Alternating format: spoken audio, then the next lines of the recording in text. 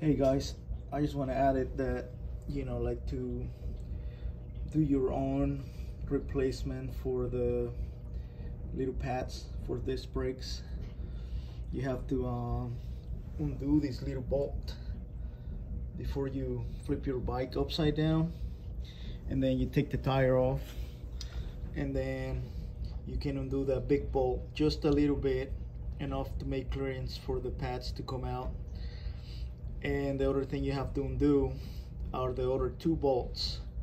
Not the big one the other two that look the same. Uh,